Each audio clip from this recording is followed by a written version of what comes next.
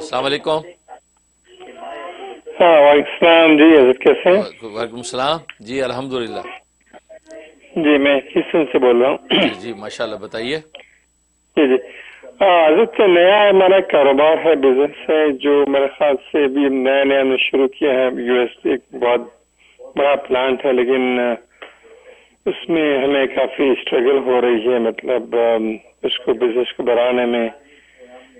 تو کس طرح سے ہم کریں گے؟ کچھ اس کو پڑھنے کا کوئی اس کو بڑھانے کا کوئی نقصانات سے بچنے کا کوئی طریقہ کار ہو۔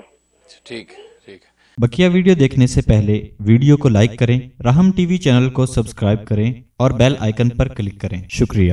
بہت شکریہ بہت شکریہ۔ سب سے پہلے آپ کی محبت کو شکریہ کہ ظاہر ہے کہ آپ اپنے پروگرام اپنے جو ہے وہ مسائل کو شیئر کرتے ہیں اور ہم آپ حضرات کے لیے برکت اور سلامتی کی دعا کرتے ہیں۔ باقی آپ کو جو ہے، جو پروگرام آپ نے شروع کیا ہے مطلب جو آپ پروجیکٹ شروع کیا، اس میں آپ ترقی چاہتے ہیں، تو اس کے لیے آپ دو عمل کریں۔ ایک تو صورت توبہ کی آیت نمبر دو اور تین۔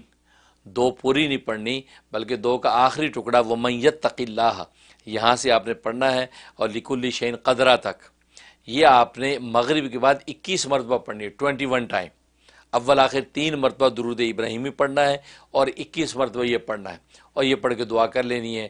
انشاءاللہ اللہ کی رحمت سے غیب سے مدد ہوگی، ہر طرح کی رکاوٹیں دور ہوں گی اور آپ جو بھی پروجیکٹ آپ نے شروع کر رکھا ہے، انشاءاللہ اس پہ خوب ترقی ہوگی۔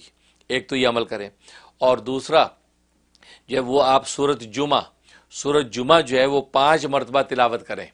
کسی بھی ٹائم میں پانچ مرتبہ روزانہ سور جمعہ تلاوت کر کے اپنے اس کاروبار کی تعمیر و ترقی کی دعا کریں۔ انشاءاللہ یہ دونوں عمل آپ پابندی سے فورٹی ون ڈیز کریں۔ انشاءاللہ غیب سے مدد ہوگی اور آپ کے کاروبار کی تمام جو رکاوٹیں دور ہو کر ہر طرح وہ ترقی کرے گا۔ میں بھی دل سے دعا کرتا ہوں۔